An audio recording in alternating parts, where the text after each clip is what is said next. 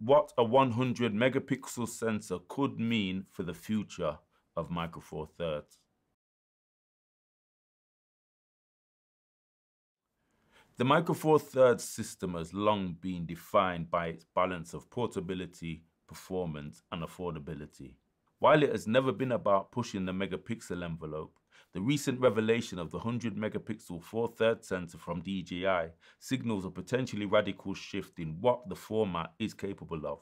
If such a sensor was adapted for stills and hybrid cameras, it could significantly redefine the trajectory and perception of the Micro Four Thirds system. Until now, the highest native resolution available in Micro Four Thirds cameras has hovered around 25 megapixels, with higher resolution outputs only possible through sensitive technologies like high-res shot modes. A native 100 megapixel sensor would demolish that ceiling offering four times the detail without relying on compositing or ideal shooting conditions. This could open new creative and professional possibilities in fields like landscape photography, archival work, scientific imaging, and particularly wildlife photography, where Micro Four Thirds crop factor and lightweight telephoto lenses already provide a strong advantage. With 100 megapixels on tap, cropping becomes a powerful tool rather than a compromise photographers could effectively zoom digitally without sacrificing image quality. This is especially compelling for nature and sports shooters who would benefit from the Micro Four Thirds system's 2 times crop factor and the ability to turn a 300mm lens into a high-resolution framing tool with the effective field of view of a 600mm lens. Though a sensor this detailed inevitably raises a critical question.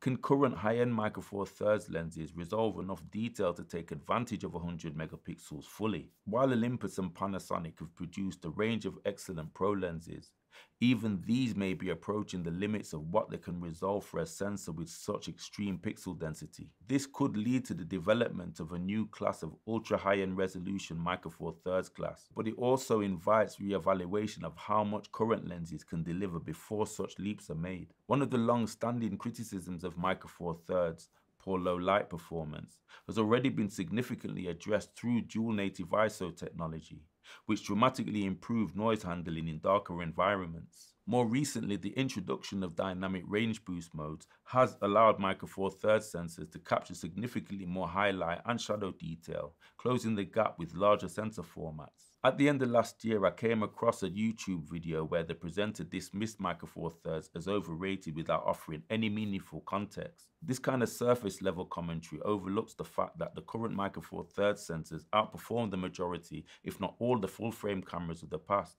in both image quality and video functionality. In fact, current high-end Micro Four Thirds cameras now perform on par with or even better than some of the larger sensor rivals in real world use. For example, cameras like the GH7 and BGH1 perform more or less equally in dynamic range and even outperform Blackmagic full frame cameras in low light conditions. And when a supposed small sensor camera equals a cinema targeted model in these critical areas, it's a strong indicator that Micro Four Thirds is not just competitive but underrated. Its development highlights that the only true threat to Micro Four Thirds future is not a technological limitation, but rather public perception often outdated or rooted in myth. An 100 megapixel sensor, if implemented properly, could go a long way in reshaping that perception. Historically, Micro Four Thirds has been seen as the nimble, versatile workhorse, perfect for video, travel, and run and gun shooting. A 100 megapixel camera wouldn't replace that role,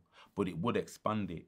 It could reposition Micro Four Thirds as a serious option for high resolution imaging needs, offering a smaller, lighter, and possibly more affordable alternative to full frame or even medium format systems. For professional users looking to travel light without compromising detail, this could be a game changer. While a 100 megapixel sensor may sound like overkill or even fantasy, it represents a bold new chapter in the system's evolution. If brought to the market in a thoughtfully designed camera, it could challenge assumptions about what's possible with a small sensor format. More importantly, it proves that Micro Four Thirds isn't dead, but an actively evolving platform. With noise, dynamic range, and now even resolution being addressed, the only thing holding Micro Four Thirds back is the outdated perception of its limitations, one that's increasingly out of sync with its real-world performance. Thanks for watching.